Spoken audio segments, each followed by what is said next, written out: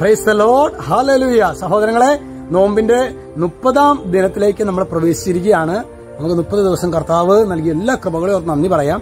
ഇന്ന് പ്രത്യേകമായിട്ട് ഈ നോമ്പിലെ സഹോദരങ്ങളെ യേശു നമ്മിൽ നിന്ന് ആഗ്രഹിക്കുന്നത് നല്ല ഒരു പാപ സങ്കീർത്തനം നടത്താനായിട്ട് നല്ലൊരു കുംഭസാരം നടത്താനായിട്ട് യേശു ആഗ്രഹിക്കുന്നു.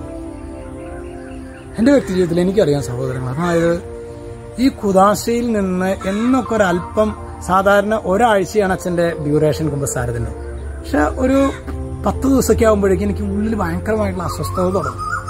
അസ്വസ്ഥ ഭയങ്കര അസ്വസ്ഥത ശരിക്കും സഹോദരങ്ങളെ നമ്മുടെ പാപം വൈദികൻ നിന്നെ പാപം മോചിക്കപ്പെട്ടിരിക്കുന്നു എന്ന് പറയുമ്പോൾ തന്നെ സഹോദരങ്ങളെ ശരിക്ക് സാത്താന് നമ്മുടെ മേലുള്ള ആധിപത്യം ആ ആ ബന്ധന അഴിയാണ് ഇത് അനേകർക്ക് അറിയില്ല അനേകർ കുമ്പസാരത്തെ സംശയിക്കാം.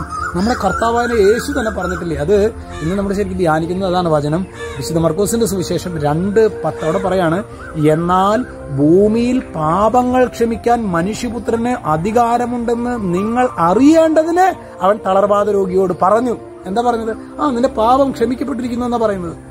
സഹോദരങ്ങൾ ഉടനടി എന്തുണ്ടായി? തളർവാദ രോഗി ചാടി എഴുന്നേറ്റ് നടന്നു. അതായത് പാപത്തിന്റെ കെട്ടുകൾ അഴിയുമ്പോൾ സഹോദരങ്ങളെ ലോകത്തിന്റെ കെട്ടുകൾ മാറും പാപത്തിന്റെ കെട്ടുകൾ അഴിയുമ്പോൾ സാത്താന്റെ കെട്ടുകൾ തകരും. ഇന്ന് പലരുടെയും ജീവിതത്തിൽ പാപത്തിന്റെ കെട്ട് അഴിയുന്നില്ല. അത് അതിന്റെ അത് നിമിത്തം എന്തുണ്ടാകുന്നു? അവർക്ക് സ്വസ്ഥതയില്ല സമാധാനമില്ല. ജോലി ഉണ്ടാകാം സമ്പത്തുണ്ടാകാം കുഞ്ഞുങ്ങളുണ്ടാകാം സ്ഥാനമാനങ്ങൾ ഉണ്ടാകാം എല്ലാം ഉണ്ടാകാം. എന്നാൽ സ്വസ്ഥത മാത്രം ഉണ്ടാകില്ല. എങ്ങനെയെങ്കിലും ഒന്ന് ജീവിച്ച് ഒന്ന് മരിച്ചാൽ മതിയായിരുന്നായിരിക്കും അവരുടെ ചിന്ത. സഹോദരങ്ങൾ അത് ശരിക്കും ലോകത്തിന്റെ കെട്ടാണ്. അത് വിശുദ്ധ കുംഭസാര എന്ന കുദാശയിലൂടെയാണ് ക്രിസ്തു ശിഷ്യർ ആ കെട്ട് പൊട്ടിക്കേണ്ടത്. അതുകൊണ്ട് നമ്മുടെ കർത്താവിന്റെ വചനം സഹോദരങ്ങളെ ഒന്നുകൂടി പറയാണ്. വിശുദ്ധ മർക്കോസിന്റെ സുവിശേഷം രണ്ട് പത്ത്.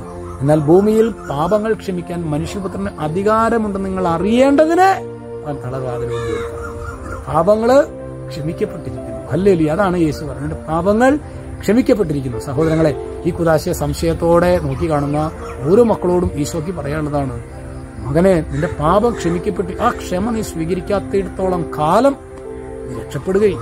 അതുകൊണ്ട് കർത്താവിന്റെ രക്ഷ സ്വീകരിക്കണോ? ഈ കുദാശ നാം സ്വീകരിച്ചേ മതിയാകും. ആ ഒരു ഗിഫ്റ്റിന് വേണ്ടി നമുക്ക് പ്രാർത്ഥിക്കാം. കർത്താവ് ഈശോയെ വിശുദ്ധ കുംഭസാര എന്ന കുദാശയിൽ കുദാശയിൽ നിന്ന് ഹൃദയം കൊണ്ട് അകന്നുപോയി എല്ലാ മക്കളെയും ഈശോയെ നിന്റെ അനന്ത സ്നേഹത്തിലേക്ക് തിരിച്ചു കൊണ്ടുവരണമേ യേശുക്രിസ്തുവിന്റെ നാമത്തിൽ ആശീർവദിക്കുന്നു. ഇപ്പോഴും എപ്പോഴുന്നേക്കും അമേൻ